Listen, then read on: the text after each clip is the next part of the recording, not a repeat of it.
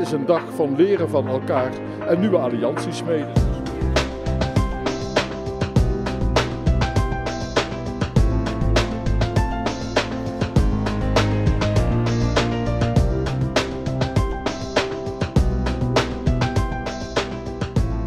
Academische vorming volgens mij betekent dat je ontzettend veel ehm, vaardigheden kan ontwikkelen.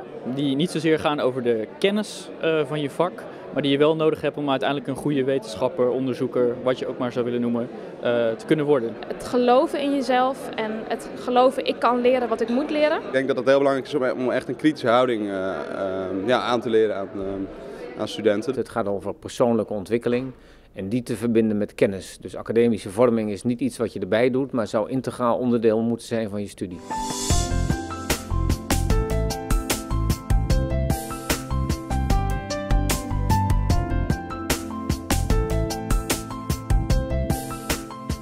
Het onderwerp is van belang omdat je vaak de indruk krijgt dat kennis, onderwijs, wetenschap wordt gezien als iets wat op hele korte termijn nut heeft. Alles wordt eigenlijk afgerekend in korte termijn valorisatie, en korte termijn waarde. En wat wij denken is dat natuurlijk universiteiten bakens van hoop zijn. Dat zijn bakens voor de toekomst. Dus je moet de toekomstige leiders opleiden. En dat zijn met name mensen die verder kunnen kijken dan alleen de kennis van hun eigen vak en hun eigen professie.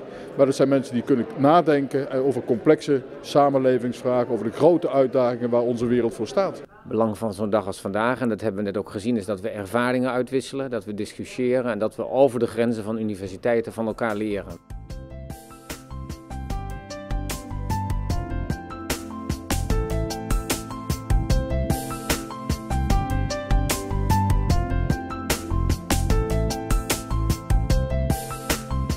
Vond dat we heel veel vragen kregen uit de zaal. Uh, echt uh, uit alle hoeken van de zaal. Dus, uh, en hele verschillende soorten vragen. Ik werk voor een stichting en ik mocht vertellen wat wij doen als stichting. We zijn verbonden aan de universiteit, maar onafhankelijk.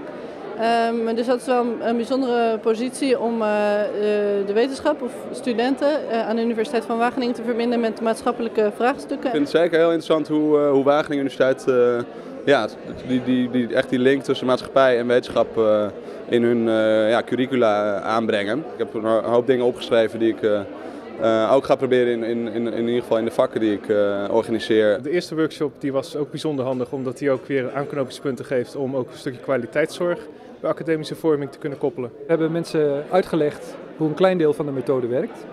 En daarna hebben ze voor hun eigen opleiding hebben ze een profiel laten tekenen in termen van competentiegebieden. Eerst zoals de opleiding volgens hun was. En daarna hoe die zou zijn als zij de baas waren over die opleiding. En nou, die verschillen waren natuurlijk heel interessant om daarna met de deelnemers over te praten. Wat zit er nou in die student? Wat zijn nou de talenten van studenten uh, die je naar voren wil laten komen? En waar wil je dat doen? En hoe wil je dat vervolgens meten? Hoe wil je dat vervolgens begeleiden? En ik denk dat uh, een platform als dit heel belangrijk is dat we met elkaar in contact blijven en blijven praten over de mogelijkheden die daar te bieden zijn.